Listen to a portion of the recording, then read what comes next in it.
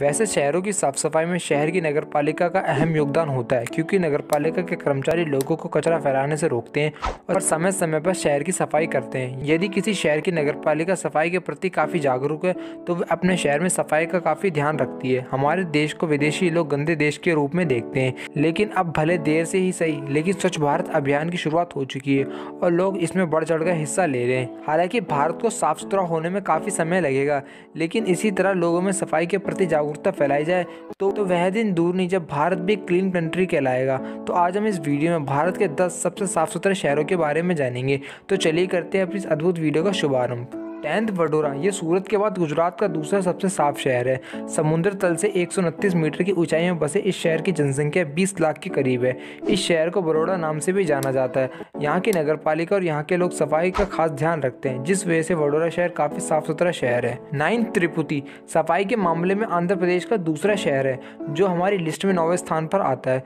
समुद्र तल से 980 मीटर की ऊंचाई में बसे इस शहर की जनसंख्या थ्री है और यह शहर अपने बड़े व पुराने हिंदू मंदिरों के लिए जाना जाता है और ये आंध्र प्रदेश का नौवा सबसे बड़ा शहर है। एट नवी मुंबई, महाराष्ट्र के सबसे साफ़ शहरों में नवी मुंबई पहले स्थान पर आता है, जबकि वे हमारी लिस्ट में आठवें स्थान पर मौजूद है।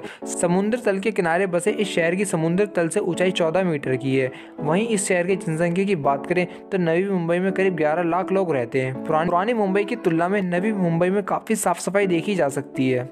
सेवंथ न्यू दिल्ली। अगर पूरे दिल्ली शहर की बात की जाए तो दिल्ली अभी भी गंदे शहरों में आती है, लेकिन इसका एक इलाका ऐसा है जो काफ़ी साफ़ है और इस इलाके को एनडीएमसी यानी न्यू दिल्ली म्यूनसिपल काउंसिल के नाम से जाना जाता है। और ये दिल्ली के सबसे साफ़ इलाकों में से एक है। यहाँ की नगर पालिका साफ़ सफ़ाई का काफ़ी ध्यान रखती है। सिक्स तिरुचारपल्ली यह तमिलनाडु का पहला शहर है जो हमारी लिस्ट में आठवें स्थान पर आता है। समुद्र तल से एट्टी मीटर की ऊंचाई में बसे इस शहर की जनसंख्या nine lakh twenty seven thousand है। हम आपको बता दें कि इस शहर को त्रिची के नाम से भी जाना जाता है और इसके अलावा ये तमिलनाडु के प्रमुख शहरों में से एक है। फिफ्थ मैसूर, इस सूची में पाँचवें स्थान पर मैसूर को रखा गया है।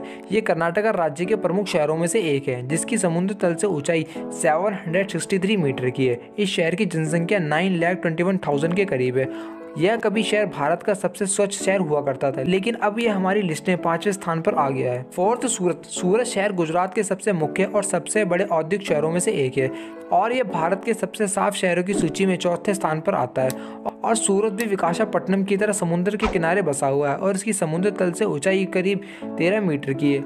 हालाँकि इंडस्ट्रियल शहर होने की वजह से यहाँ की फैक्ट्रियों से काफ़ी प्रदूषण होता है, फिर भी यहाँ के लोग साफ़ सफ़ाई का खास ध्यान रखते हैं। थर्ड विकासापट्टनम तीसरे स्थान पर आंध्र प्रदेश का तटीय शहर विकासापट्टनम आता है। समुद्र तल से 45 मीटर की ऊंचाई में बसे विकासापट्टनम में करीब 18 लाख लोग रहते हैं। समुद्र के किनारे बसा होने के कारण इस शहर का मौसम ज़्यादातर सुहाना बना रहता है और इस शहर का तापमान भी हमेशा संतुलित रहता है। और वहीं साफ़ सफ़ाई की बात करें, यहाँ के लोग इस बात का काफ़ी ख्याल रखते हैं। सेकंड भोपाल, दूसरे स्थान पर मध्य प्रदेश का दूसरा शहर भोपाल है, जो कि मध्य प्रदेश की आधारिक राजधानी है। इस शहर की जनसंख्या भी इंदौर के बराबर लगभग 20 लाख के करीब है।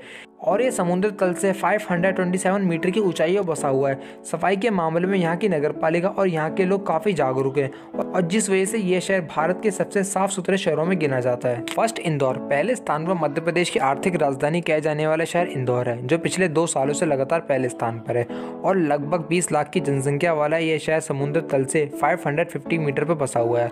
हम आपको बता दें, इंदौर को मिनी मुंबई भी कहते हैं, क्योंकि क्योंकि इस शहर की जीडीपी ग्रोथ रेट काफ़ी अच्छी है और यहाँ पर ज़्यादातर अमीर अमीर और मिडिल क्लास के लोग रहते हैं। इतना ही था आज की हमारी इस वीडियो में। उम्मीद करता हूँ आपको वीडियो अच्छी लगी होगी। अगर वीडियो अच्छी लगी, आप लाइक कर देना और चैनल को सब्सक्राइब कर देना। और आपका बहुत बहुत धन्यवाद। आपने अपना कीमती समय निकाल कर हमारी वीडियो को देखा।